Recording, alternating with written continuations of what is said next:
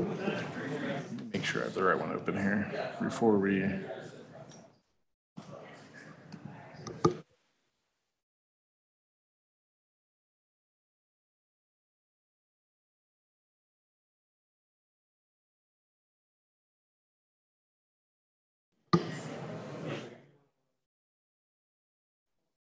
All right, folks, we're going to start the, uh, the last talk of the day.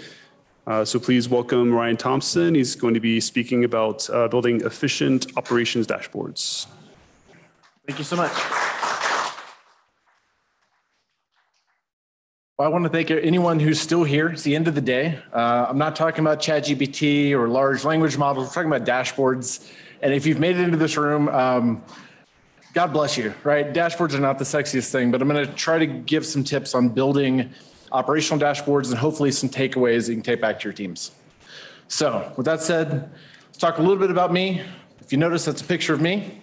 Um, I'm a security researcher at CrowdStrike, and I've held various roles over the years, but in every single role, uh, there has been some instance of Kibana. One of those roles, to be fair, was working at Elastic, so naturally you're going to get some Kibana there as well. Um, so just so you know, there's going to be a lot of screenshots of Kibana, a few of Splunk, but I'm trying to make this advice high level and agnostic enough that it can be used across multiple SIEMs. So there's going to be a slight bias towards Kibana. With that said, what are we going to talk about? More importantly, we're not going to talk about log ingestion, parsing, uh, individual analysis of logs. Hey, this SIEM's really got a really cool module.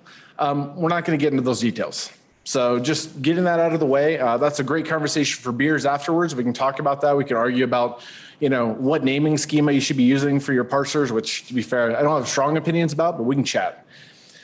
Having said that, what I will be talking about is guidance on planning and building dashboards. So we're not going to get super, super in the weeds. If you came here for a, hey, I click here, I select this drop down, this isn't quite the talk. We're going to be a little bit more high level. We're going to talk about some, some guiding principles. So with that said, here's the agenda. We're going to look at dashboards at a high level. What, what are our goals here? We're going to be talking about some pillars of dashboards excellence. That's a little cheesy, but these are some guiding principles that are going to follow us through the rest of the, the conversation.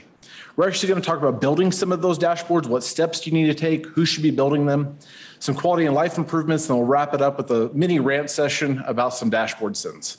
So let's go ahead and get started. So first of all, quick question. How many of you have Kibana or use Kibana in your current role? Let's we got some hands up. Um, how many of you have another SIEM of maybe that's up here, maybe that's not? We've got another hand raised from the same company, right? So everyone has these SIEMs. Some vendor has come out and said, you got a lot of logs. I've got a solution for you. And whether or not that solution is right or not, you need to be pulling these in. They are right about that. Um, so you've got this pile of logs. So what happens next? Well, you've got a search bar. Your engineers have done a, hopefully a good job of parsing these, ingesting all this information. Um, and now you throw that to your analyst, and your analysts have this empty search bar.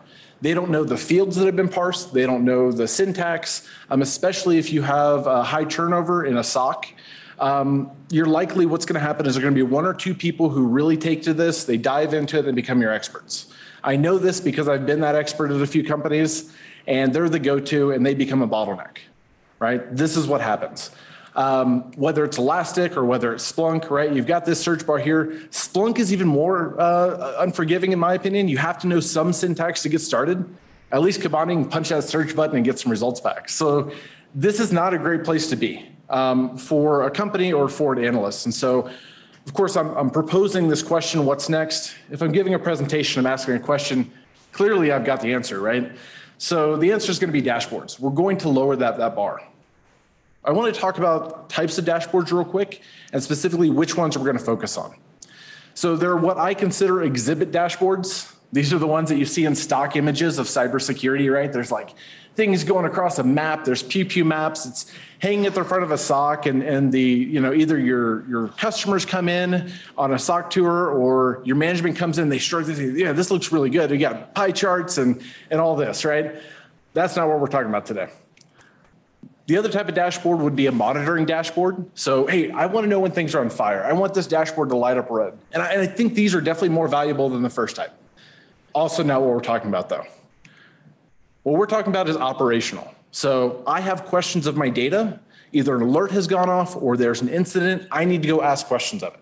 And this is used uh, mainly for uh, investigation uh, deeper into your data.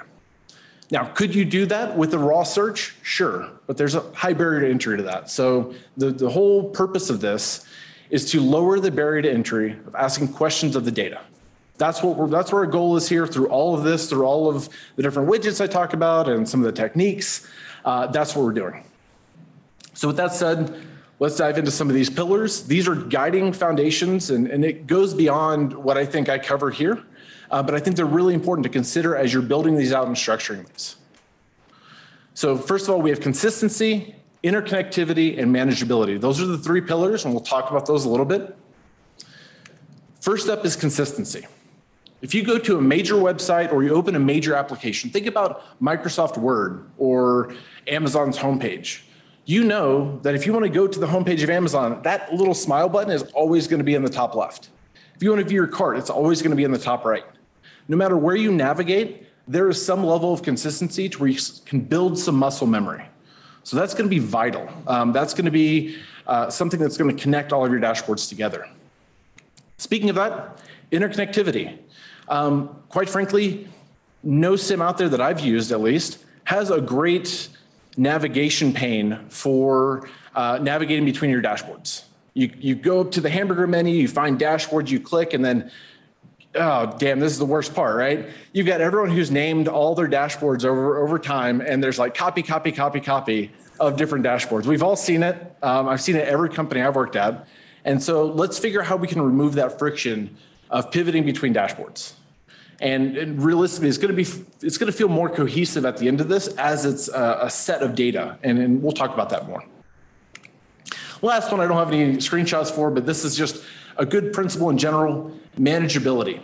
Anytime you can create and save an element and then reuse that element across multiple dashboards, that is going to save your bacon when you need to make an update.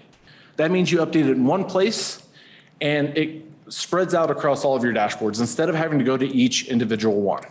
And so this is going to be huge. We'll talk about a little bit on, on how you can do this.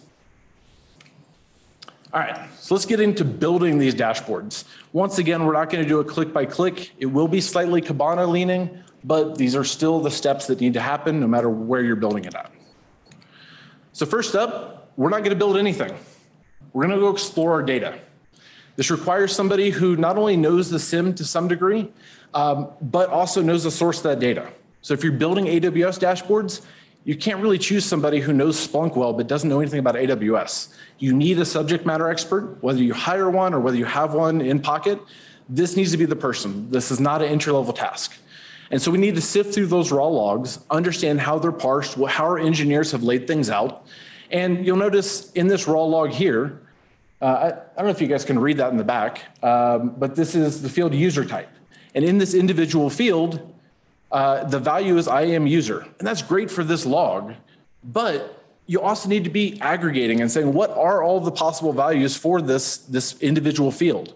This is going to tell you so much about your data. And so take that time, aggregate on individual fields, learn what is available before you even start building anything at all. What you're going to find is that most of these logs have a tiered structure or a hierarchical uh, structure to them. And so up top, you have log types. So in this case, we're talking about CloudTrail. Underneath that, you're going to notice that they're broken up into event categories, or I think CloudTrail calls them event sources. And so in this case, they're broken up by individual services. You have EC2, you have IAM, and then underneath that, you have event names, right? So figure out that structure for your logs, whether it's GitHub, Okta, Windows, AWS, whatever it is, learn that structure. This might be a good way to build out your dashboards. That's how I generally do it, but it's not the only way. What, another thing you'll notice is that there's going to be some fields that go across all logs, right? So for AWS, it would be something like source IP address. It's going to be uh, event name, right? These are going to exist everywhere. This will come back into play later. As you get down into the more specific logs for run instance, there's obviously going to be an instance type, right? Whereas maybe in create policy, there probably won't be that field. So we'll talk about what we do with those specific fields versus the more generic ones. I'll touch on this briefly. Windows has a very similar structure. Uh, in this case, you've got the Windows event log broken down by security, system, there's application, there's a few different others, and then they break down into individual event names. So understand that for your logs. Next up, we're going to want to build our navigation bar. This is the piece I feel like most dashboards are missing, and this is going to help with that cohesiveness across your different dashboards. So question is, that's great, Ryan. You'd say build a dashboard navigation bar. How do I do that? Most SIEMs out there have a markdown widget or markdown visualization option. And the syntax for link is super easy. Brackets text, right? Whatever text you want to display, followed by the URL. That's it. And so you can build this navigation bar out. Remember, build it once and reuse that element. So if you ever need to add to it, you can add it in one place and it propagates throughout your dashboards. But be careful because most of our environments, most of our SIEMs are controlled by IT and sometimes they like to move to new domains, whether that's cost savings, whether it's consolidation, whether it's just you know, uh, moving to a new host for stability reasons, whatever it may be. Do not use your full domain, whether that's an IP address, whether it's a domain name, because that will come to bite you. What's going to happen is they're going to update that domain or update the IP address if it's running locally, and all your links will break. So make sure you figure out how to uh, cut off that domain and start grabbing from somewhere else. So for Elastic, I've had a lot of luck grabbing after the pound sign. Uh, and then for Splunk, just after the port, right? Use those as your links. It'll automatically navigate and it'll update as you change IPs or domains. So it's going to help you a lot. This navigation bar, pretty straightforward. You're going to build these out to link to individual dashboards. So I have overview, IAM, sign in, compute, and storage, and all those link to their individual dashboards. So pretty straightforward, nothing crazy so far. If you have more than one data type, you may want to build uh, what I call a global nav bar. So this one is specifically for AWS, but maybe you have multiple multiple data types. Maybe you have AWS, Azure, O365, GCP, whatever it may be. Build that global nav bar along the top. Have those linked to your overview dashboards for each of your services and what ends up happening is you end up putting two nav bars on every type of dashboard. So for an AWS dashboard, you need your global dashboard there, and you need your AWS dashboard. For Azure, the kind of the same thing. And this will make a lot of sense once you see the navigation actually work. Up here in the top right, you'll notice that I'm clicking through different AWS services, and now I'm going to pivot over to GCP, and it feels very cohesive. So I can put a lot of different links in a very small, small area. And so really, really handy. Now that we're on this slide, let's talk about the header in general. This is that consistency, consistency piece that I talked about. Um, first thing that I feel like a lot of people overlook, besides the nav bar, is the title widget up here. When I land on this, I need to know what it is. And sometimes I need additional context. So maybe I've filtered in a certain way. Maybe I want to have information on how to ingest new logs, whatever it may be. You can put some small instructions up there in the top left. Also, I'd like to have just a general count of logs so I know what I'm working with. Maybe a histogram of when these logs are coming in, some very generic stuff. Remember, this is up towards that higher hierarchy. We need just general, uh, kind of generic fields that exist across all of our logs. It, cool thing about it, it doesn't matter how you design it. These are the same five widgets reorganized in different ways. Figure out what makes sense for you. The reason I suggest that we do this early is because you'll likely want to build it and then clone it, right? And then maybe replace those with the specific services that you want. Um, but figure that out soon. It's going to take some time. You're going to be dragging some things. You're going to be making sure that things are even. If you change it later down the road, it's a lot of work, but have it consistent. It helps a lot. So, a few tips on this. First of all, design it for a 1920 by 1080 screen. If you've got a 49 inch monitor and you're spreading out your Kibana and you're saying, yeah, this looks great. When somebody opens that up on their laptop, they're going to hate you. It's going to be awful. And so design it for standard screen size. The recommended elements I have up here, I'd have some type of title pane up there, let them know where they're at, provide details, maybe a count of overall records, whatever makes sense for your organization or your data. So next step, step four, this is that manageability piece, and this is a really important piece. Um, when you build a widget, it generally asks, what is your data source? And most people say, cool, I want that raw data. Give me that AWS index pattern. Give me um, all of the Windows logs, whatever it may be. And then in each visualization, people end up putting filters in there and they say, oh, well, this is uh, specifically uh, user logins. And they'll go and they'll, they'll adjust that visualization. They'll create another one and they'll put those same filters on. And they'll create another visualization, put those same filters on. Anyone who's managed anything at scale knows this is going to be a huge problem, right? As you, if you decide that you, your definition of this type of activity has changed, you need to go change each and every filter. I'm going to tell you right now, you're going to miss one. And the worst part is nobody's going to notice. Nobody's going to notice for a long time, if ever, uh, because when you start talking about dashboards, things are abstracted. You're not looking at raw logs anymore. And so you will miss that. A better way to do that is to build and save a search with the filters built in. So filter that centrally and then reuse that data source over and over and over again. Kibana allows you to do that first uh, mistake. If you wanted to choose an index pattern, you absolutely could. But I would definitely recommend building those individual searches out and using those as your data source, right? Because it's for this data table, it's asking what source do you want to use. Props to Splunk. Splunk does it right. Uh, if you want to build a data source, that says, great, choose what search you want to use. It doesn't even allow you to, to choose an index or a database. It says, you better create a search first, and then we'll use that. Once again, if you need to update that definition, you do it in one place and it propagates through everything. Super, super handy. All right, now we get to build out dashboards. This is, I was gonna say the fun part. It's, it's not super fun, but this is where you get to actually add um, some value to these, right? So now you've got maybe four or five different dashboards. You've got your header along the top that's got some generic information. Now we can move further down that hierarchy and say, great, I want to build out some visualizations just looking for VM launches, just for these run instances, or just user logins, whatever it may be. And so you can build these specific to those types. You'll notice that my dashboard isn't very flashy. I'm a sucker for, for data tables. I think if you're, you're trying to ask questions of your data, you need to bring your data forward. Visualizations can be useful. I'd use them sparingly, and I'd usually use them for time series things. So changes over time, amounts of data over time, and I'd be careful about how we use these. I think bar charts are great if you just want to look at a total count and it's a pretty simple amount. Perfect for that. Line charts, fantastic at comparing values to one another. Area charts are a little tougher. Think of who you're building this for.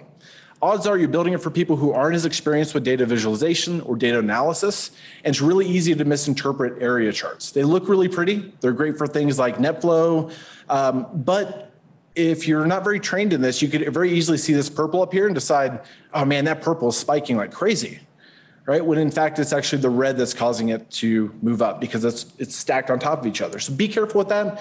Um, NetFlow, things like that would be good. Bytes in, bytes out may work for that, but use that sparingly. Markdown is going to come back again and again. Use these markdown visualizations to break up your dashboards. So if you're building some visualizations out about run instances, build a divider. Visually distinguish it from other sections. It's going to make it flow a lot better. It's going to make people understand instead of just having a sea of data tables, there's some visual break in, in the noise. So those are the foundations for, for building these out. But let's talk about taking it to that next level. How do we make these truly easy to use and uh, useful for our users? First up is hyperlinks. Uh, anytime somebody is copying and pasting a value out of your dashboard and having to paste it in somewhere else, let's see if we can reduce the, those amount of clicks, right? So in this case, we have source IP or source host that has an IP address. If we need to do a reputation check for that, what we should do is instead of leaving that and leaving that up to the analyst, we should go and edit that field. Most SIEMs allow you to do this. Instead of just having a value up there, you can say, great, my type is going to be URI or link, and you put in a template. You say, great, I want to use talosintelligence.com. And at the very end, uh, instead of having an IP address, I'm going to have the value of this field. And so what ends up happening is you get a hyperlink and you click it and it takes you right to Talos's website with that IP brought up. Reduce that barrier, reduce the friction to, to having those analysts do the right thing. If they're having to copy and paste all day, that's going to increase burnout. Number of clicks is a whole nother thing, but uh, just reduce that friction. It's not just IP addresses though. That's the first one up there. But there's also things like Windows Event ID. If you create a link that takes you right to Ultimate Windows Security and pulls up that log right there, the odds of your analyst clicking that and learning that quicker is going to be much, much higher. But I think the most important one that I've seen is generally speaking, we're pulling this information in from somewhere. Um, a lot of the time we have internal ticketing systems that we're pulling this data in from, or we have internal uh, data systems that we're pulling it in from. And uh, Kibana probably isn't our only place to find information about this or your SIEM, right? And so if you're pulling in service tickets, go ahead and create that link, your internal link to that internal service ticket. Um, I've built a handful of these for uh, CrowdStrike, and so we've got internal systems all over the place. And if I can make it a one click to go from Kibana, that data analysis, to the actual system that it comes from, that's another huge win. So don't sleep on that. Next up is documentation. Uh, in my opinion, wikis are where documentation goes to die. It just gets buried under everyone's good idea of, of what documentation looks like. It's buried under dead links. It's awful. Um, and so why don't we build that using Markdown widgets? Once again, I want that documentation to be as close as possible to the analyst when they're going through this. And so you're pivoting, you're going through and you're saying, man, you know, I, I really wish that I could build a better search. What are the fields for this environment? Well, I've got a help button up here. I click that and it takes me to a slightly different structure here, right? I've got it built more like a wiki with my links on the right-hand side, um, but I've got all my documentation right there. So once again, removing that friction is huge.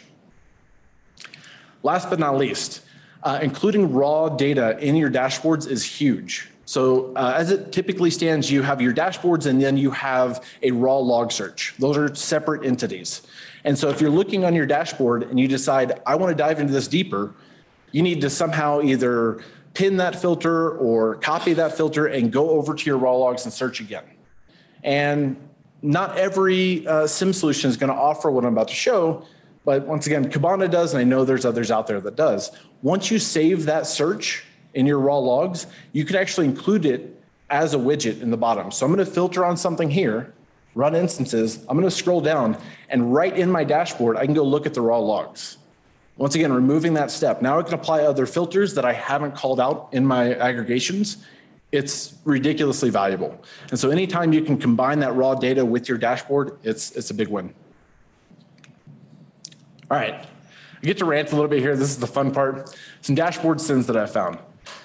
I kind of alluded to this at the beginning, but inconsistent naming conventions. Odds are this is what your Kibana dashboard looks like, uh, your, your list of dashboards looks like. It's oh, hey, Robert made this hacker dashboard and everyone's just copied it and put their name on there. And it's, it's complete shit show, let's be honest.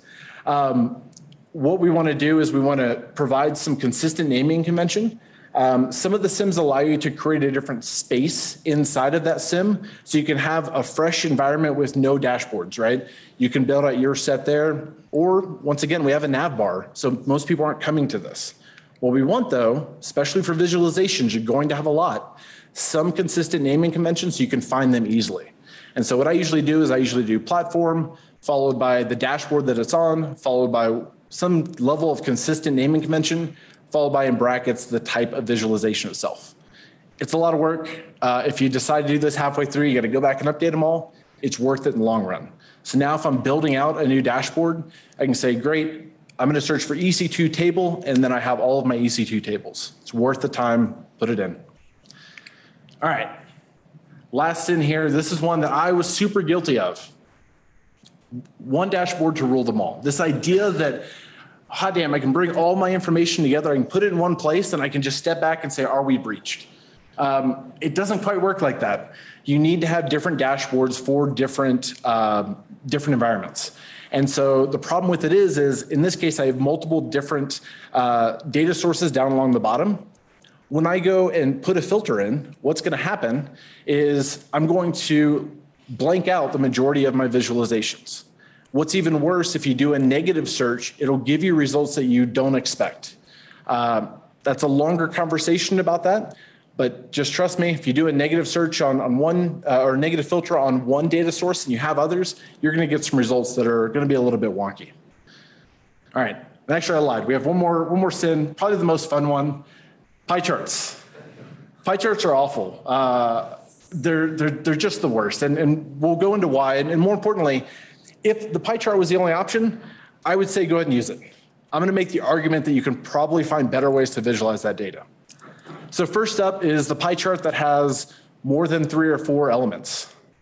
I don't know about you, but I can't tell what any of these are down in this small yellow section. All right, sure, I can mouse over them and it's going to highlight things. It's just, it's not a good, it's not a good visualization to show a ton of different data types. And so over on the right-hand side, we have a data table, which you know has a special place in my heart. Uh, not only do I have the, all the IP addresses clearly listed with their percentages, but I also have the actual count. And so once again, this is operational. We need to be able to filter on those outliers. A data table is going to allow you to do that much better. You may be saying, but Ryan, what if you only have a few? Still not worth it. Don't ever use pie charts. Um, at first glance, I don't know about you, but it's hard for me to tell which one's bigger, the blue or the green. The whole purpose of this visualization is to reduce that ambiguity, to make it very clear what's happening. I'm going to argue that a bar chart does that way better, even with just a few different values. Uh, and then, of course, you've got the trusty data table uh, holding strong for me down there. So I would argue that pie charts are never the answer. Uh, I'm, I'm, going on a tour just to, just to rant about pie charts. Get them out of there. They're awful. Um, so with that said, we talked about kind of those pillars, right? We want to have things that are consistent. We want them to be interconnected and we want them to be manageable and scalable. That's a huge piece. We talked about the steps of building the dashboard. We're going to start by exploring that data, building out the nav bar and the header, uh, designing smart data filters, and then finally building the dashboards themselves. Quality of life improvements, make those hyperlinks super easy for your analysts to get from one thing to another. Documentation, build it right into your tool. Include that raw data close to the, the dashboards. And then finally, dashboard sends the most fun part, name your things consistently, split up your data sources, and avoid pie charts. So with that said, um, I, I, do have uh, an example of some of these. They don't follow all of the steps uh, that I did up here. There are some sins that, that I included in my own. This was built uh, in the middle of a SANS course, and so I built this specifically to uh, work with SOF-ELK. And so if you want to go take a look at what this looks like, I've got a link to it there. Um, it's not, not flawless, it's not perfect. Uh, I'm merely human. So uh, with that said, does anybody have any questions? I think we need a microphone. Is this it right here? Yes.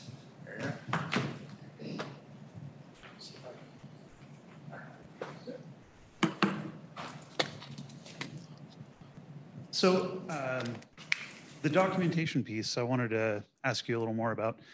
Um, I guess what level of documentation would you expect there? And is that your single source of truth? Or are you pulling documentation from the wiki that's the SIN? Um, you know, would you would you have that be static or uh, have that be maybe pulling from an API that from Confluence or something?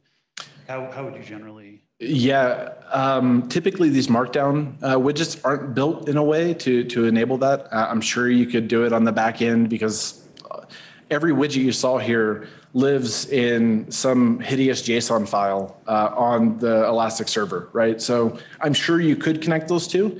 Um, typically, I would just recommend if you're, you know, if you think about it, right, for a Kibana instance or a Splunk instance, whatever it may be, all the engineering and parsing that is happening is specific to that instance. You're not using it anywhere else. So I wouldn't put it in a wiki. I wouldn't put it in Confluence. I would manage it directly within the tool itself. You're just talking the documentation for using the tool? Correct. Yeah, not documentation across your entire org. That definitely needs to live somewhere else. But um, and, and, specifically, right? You take Kibana for instance.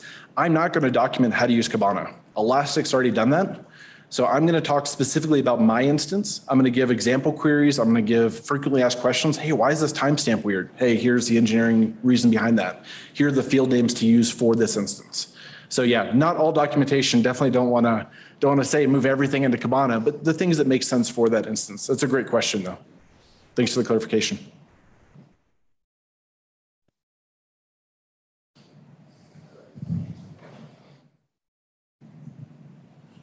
Um, would you uh, would you say that the decision to create a, a dashboard?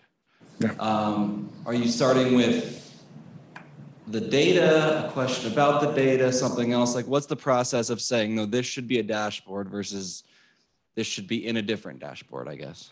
Yeah, I mean, it's going to depend for everyone, right? Um, the way that I typically do it is I do it, I try to build it along the same lines as the hierarchy.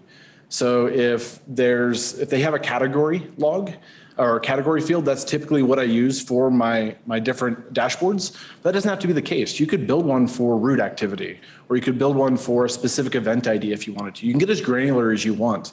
And so it depends on your use case. Um, typically what I'm building for is um, somebody who wants to ask additional questions or really uh, if, if we really break it down, they're just pivot tables. A lot of these, right? You want to say, great, for this user, what events happened, or for this event, what users did it. And so it really depends on your organization. I typically do it by that category log. Um, it's going to vary though. Yeah. Any other questions? All right. With that said, thank you guys so much for your time and sticking around. Appreciate it.